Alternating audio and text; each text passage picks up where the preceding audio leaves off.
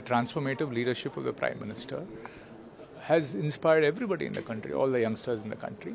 And if you see, uh, especially the way Corona was handled, I was I quoted a Tamil uh, couplet saying "Idukkan varungal naguga." When the whole world was en- enveloped with uncertainty and fear, the way a prime minister, along with the selfless health workers, you know, put faith in indigenous vaccines, make sure that everybody was safe, was something which has to be commended.